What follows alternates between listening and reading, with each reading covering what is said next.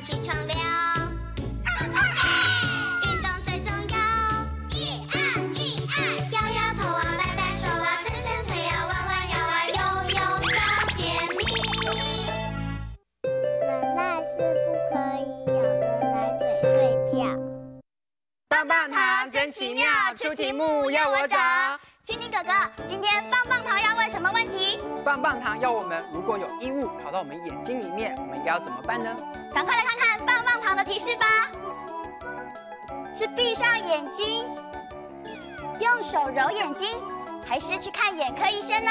大家赶快来想想看吧。小朋友别烦恼，慢慢想就猜到。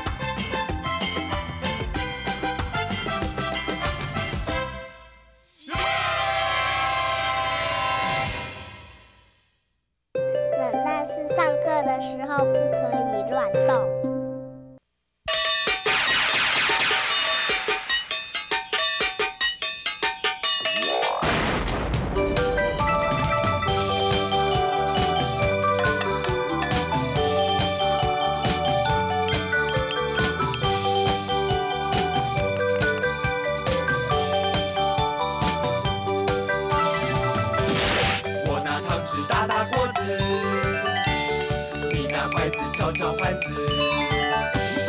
有个胖子抱着桶子，快找找什么东西来玩玩声音解谜。兴许是你的创意，比比谁有趣。我拿刷子洗洗车子。报纸擦擦镜子，拍打鞋子，拍拍蚊子，快找找什么东西，来玩玩声音接力，试是你的创意，比比谁有趣。